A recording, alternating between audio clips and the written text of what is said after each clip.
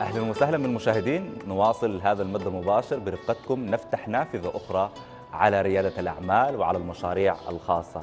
الشباب في الفترة الأخيرة أصبح يتجه لجانب آخر هو جانب الأعمال الخاصة، يعني الوظيفة ورهق الوظيفة واستثمار الناس ذاته في الفئات البشرية يعني عشان ينموا مشاريعهم، فبقى جهد مقدر من الشباب، لكن أي فكرة أو أي مشروع خاص بالنسبة للشباب ما بيتنفذ وما بيرى النور وإلا تكون في اشتراطات معينة تكون في ظروف معينة وخطوط حمر الواحد ما يتجاوزها عشان يمشي بسلاسة.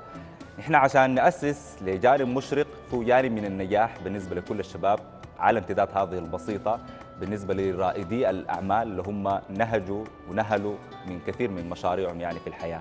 ضيفنا في صباح الشروق هو استطاع إنه يقدم المزيد يعني من خلال مشاريعه الخاصة يأسس من هو موظف يأسس لفكرة العمل الخاصة والمشروع الخاص. وما يقف الموضوع فقط عند تأسيس مشروع خاص برضه يرسل كل روشتات النجاح بالنسبة للمشاهدين بالنسبة للشباب المقبلين على الحياة الخاصة. سعداء جدا يكون معنا أحمد القدسي المدرب التنمية البشرية وأيضا رائد الأعمال وهو أيضا صاحب سلسلة من المشاريع الخاصة. أهلا ومرحبا بك أهلا صباح وسهلا الخير. فيك أستاذ حمزة. سعيدين بهذه الاستضافة في صباح الشروق. الله يكرمك. طيب كده. انت طبعا ك... لما أسألك سؤال ما بي... ما بيجاوبني زي إجابة الشخص العادي يعني. لما نسأله ونقول له أنت الوظيفة ولا العمل الخاص؟ الشخص العادي هو بيتمسك بالوظيفة لأنه أمان وظيفة بالنسبة له لحد هم يلقى رأس المال الكويس ويبدأ في مشروع العمل الخاص. أنت بزاويه شوفك كمدخل كده. بتفضل شنو في من شباب الجيل الحالي اللي عنده أفكار كبيرة إنه ينفذ فكرة الوظيفة ولا يبدأ مع الوظيفة العمل الخاص مباشرة؟ جميل. سؤال جميل أستاذ حمزة. ممكن قبل شوية كنا نتكلم كمان على موضوع آه، الحماس الزايد لما الواحد كذا يتحمس من أجل يفتح مشروع. فالحماس شيء وبناء المشروع بمعنى شيء الكلمة شيء. آخر. صحيح. حول موضوع الوظيفة والعمل الحر. تكلمت عنه في أشياء كثيرة بمحاضرات كثيرة. لكن أنا دائما أفضل إنه الشخص آه، مثل ما قلت سميتها في نوع من الأمان. آه، الوظيفة تعطيك نوع من الأمان. ف وما يمنع يعني أحيانا بعض الناس نسميها في عقلية الشخص الفقير إنه لازم إما وظيفة وإما عمل حر. طيب تجمعهم الثنتين لا ما ينفع عنده. ما في إشكالية يعني يستطيع إنه يستطيع الواحد إنه يكون عنده وظيفة وكمان يشتغل في عمل حر. ما في أي إشكالية. حتى رب العمل يعني حتى يعلمه بهذا الشيء. يعني يقول له شوف أنا عندك من الساعة الفلانية للساعه الفلانية وكمان عندي العمل الفلاني يعتبر عمل خاص فيه تكلمه فشيء طبيعي جدا لكن الشيء اللي نلاحظه صراحة حاليا من الشباب إنه يكون يشتغل في وظيفة ويشوف بعدين يعني الكلام هذا اللي الآن صار في الوظيفة عبودية ولا تشتغل ولا تعيش كعبد والكلام هذا كامل والعبودية كفر و... فهذا الشيء يخلي الواحد إيش يفعل؟ بلحظة غضب قد يكون. مديره مثلا زعله بشيء أو موقف حصل بال- بالوظيفة فيخليه يشوف يترك العمل ويروح يفتح مشروعه الخاص. فتح المشروع هنا يكون ردة فعل عن ترك وظيفة وليس شيء مدروس عن دراسة جدوى. فهذا الشيء يخليه يفتح المشروع وما في معاه شيء يأمن مصاريفه فيكون تركيزه هناك يعني أريد مشروع عشان يجيب لي مصاريف اغطي مصاريفي مو تركيزه على تطوير المشروع وتكبير المشروع يحتاج فقط أن يعمل مشروع من أجل يغطي المصاريف وهذا الشيء اللي يخلي المشاريع تنتهي معظمها في أول سنة. هنا يظهر حماس الشخص من جديته في البزنس. و97% من المشاريع تنتهي في أول خمس سنوات لها وهذه احصائيه مخيفه جدا في الكبيره طيب نمشي تدريجيا أستاذ أحمد يعني. وأنت ذكرت من الوظيفة لل- للعمل الحر. في الدول المتقدمه بتنشئ جيل متزن بيعرف هو أولوياته محددة في المستقبل. إذا كان في الوظيفة أو في جانب الابتكار وبتستفيد من الدول على صعيد الدول المتقدمة. أما في دول العالم الثالث فبالضرورة إنه نلجأ للوظيفة على أقل تقدير نكتسب خبرة وبعد ذاك نأسس لعمل متين. فأنت بتفضل إنه الشخص هو يمشي في اتجاه الوظيفة عشان يكتسب مهارات أكثر ويعرف في جانب عمله وإنه يأسس مشروع حتى في جانب عمله يعني. أنا متفق معك بهذه النقطة أن آه، اشتغل توظف اكتسب مهارات اكتسب خبرات. المكان اللي بيعطيك خبرات بشكل كبير مو فقط الجامعة. يعني البعض يظن أن الجامعة هي فقط مصدر العلم لا في أماكن أخرى. توظفك شغلك في عمل بالنسبة لي بالنسبة لي أستاذ حمزة. آه، اشتغلت يعني بعد فترة ال- الجامعة كان عندنا في نهاية ال- الجامعة لابد أنك تتوظف في مكان مرحلة التدريب. فكان التدريب لمدة ثلاثة أشهر. بالنسبة لي دخلت وتدربت وما كان يتم دفع لي أي مبلغ. ومواصلات الذهاب والإياب عادي. أنا أدفعها من جيبي لكن من أجل اكتسب معرفه أتعلم وات- واتدرب لدرجة بعد ما خلصت الثلاث الأشهر قلت لهم أنا ممكن أضيف ثلاثة أشهر إضافية. قال لي خلاص انت مرحله التدريب تبعك خلصت. قلت لهم أنا أريد. طيب قالوا ما ما في أي دفع أي مبلغ مالي. قلت لهم ما أريد أي مبلغ مالي. لكن بشرط. قالوا إيش الشرط؟ أريد أتنقل بين الإدارات. أريد أتنقل من الإدارة. الأولى. التسويق المالية الإنتاج خط الإنتاج أشوف إيش اللي يشتغلون. فبقيت أتنقل بين الإدارات هنا أسبوعين هنا أسبوعين عشان أنوع ال- ال- الخبرات عندي. ما انتهت الست الأشهر هذه لو فتحت مشروع خاص فيها كمان. يا سلام. هذا الأصل اللي نحتاج نفعله. بناء على مشاهدات ولا أنت خلاص أيقنت إنه لازم تبدأ في عمل خاص يعني؟ لما أنت جولت في ال- في طبيعي جدا دي. يعني آه، الشخص إما انه يقع بين مكانين إما إني أكون موظف أو أني أشتغل في عمل حر واحدة منهم. لكن صراحة اللي أقوله دائما آه، إما أن تبني شيئا عظيما أو أن تكون جزء من شيء عظيم. ليس بالضرورة انه كل الناس يكونوا رجال أعمال سيدات أعمال رواد أعمال. من بيشتغل بعدين؟ وليس بالضرورة إن الكل يكون بعقلية الموظف. فنتكافأ فيما بيننا. وليس بالضرورة أن الشخص يقول أنا خلاص رجل أعمال ما ما ينفع أشتغل كموظف في بعض الأشياء. أو أنا كموظف ما است ما ينفع أن أنا أفتح business نستطيع نجمع بين الأمرين ما في إشكالية. وبنفس الوقت يا أستاذ الكريم آه، إما أن تبني شيئا عظيما مشروع خاص فيك وترى أنه سيكون شيء عظيم أو أن تكون جزء من شيء عظيم. رأيت مشروع هذا بالنسبة لي في البداية. رأيت شركات ناجحة. وحبيت اني أكون جزء منها. ونكبر المشروع مع بعض واعتبر جزء يعني عنصر فعال في هذه الشركات. فبدأت من الشركة الأولى الشركة الثانية الشركة الثالثة ما نفعت. فاضطريت ان أنا أفتح بعدين الشيء العظيم الخاص فيا. طيب أستاذ أحمد أنت ذكرت آه، في حديثك إنه في مشاريع كثيرة بتبدأ بحماس لكن بتنتهي لأنه ما كتب لها تخطيط كويس يعني عشان الشخص يمشي على المسار ده. فأنا لو عايز عندي فكرة وبديت أخطط لكن السوق مليء بكل ال- الشركات في كل الأعمال أي في كل الاتجاهات يعني.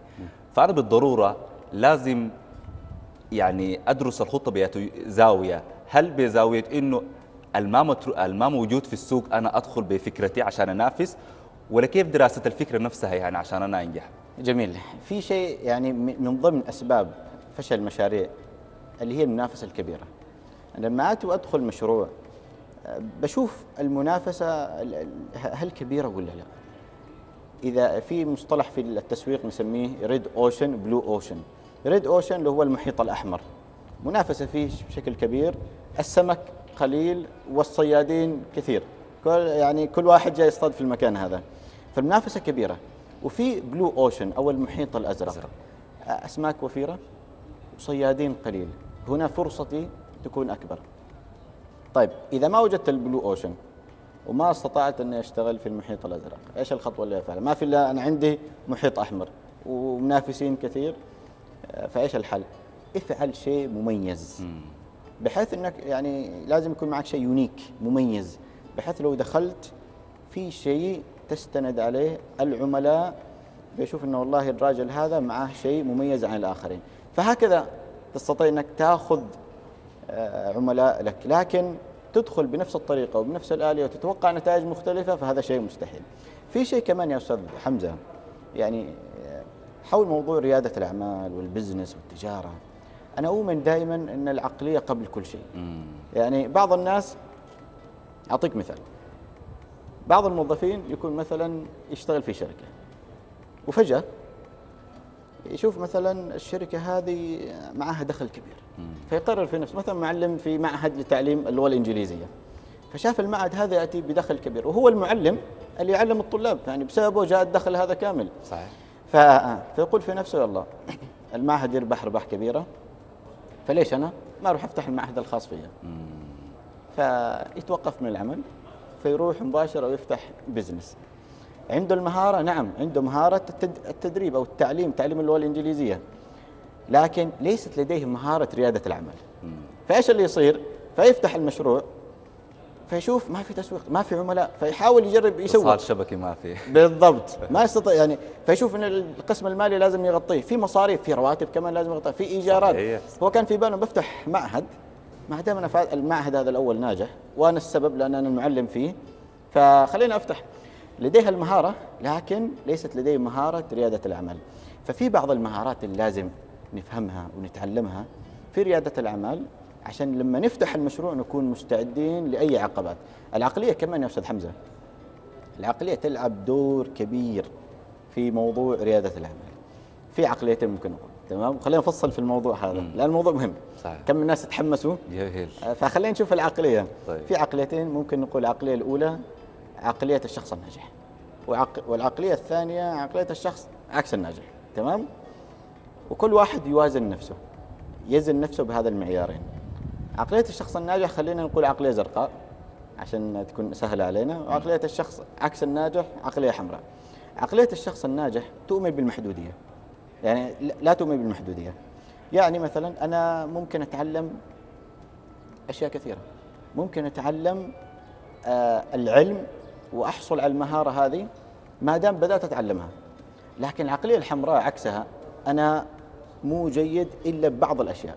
طيب بقية الأشياء ممكن تتعلمها؟ لا مو قادر عليها. طيب اتعلمها فالعقلية الحمراء تؤمن بالمحدودية. أنا مو ممكن أكون مم- جيد بأي شيء.